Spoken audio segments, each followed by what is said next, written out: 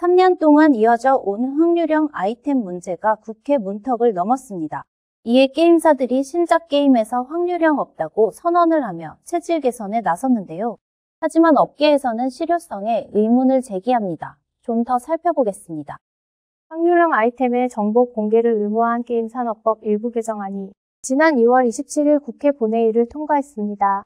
확률형 아이템이란 PC, 모바일 게임 내에서 이용자에게 유료로 판매되는 게임 아이템을 뜻합니다. 이용자는 구입 후 열어보기 전까지 그 안의 내용물이 무엇인지 알 수 없는데요. 이번 법안의 국회 통과에 따라 내년 3월부터 게임물을 제작, 배급, 제공하는 자는 홈페이지 등에 게임 내의 확률형 아이템에 관한 정보를 반드시 표시해야 합니다.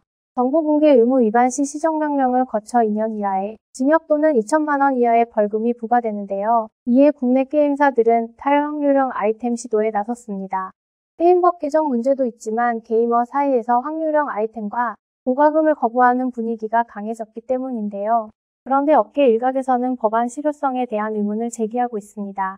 게임사들은 지난 2015년부터 이미 한국게임산업협회 주도하에 확률형 아이템 정보를 공개하고 있다며 이번 법안 통과는 기존의 법 규제 없이 게임사 자율에 맡겨졌던 확률형 아이템 정보 공개가 법의 테두리 안에서 해야 할 일이 된 것에 불과하다는 관점입니다.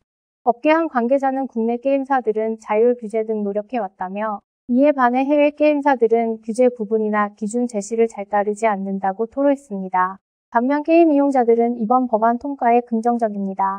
한 게임 이용자는 어느 정도 확률을 가지고 자기가 과금을 하는지 정확한 지표가 있으면 쓸데없는 지출을 줄일 수 있지 않겠냐고 말했습니다.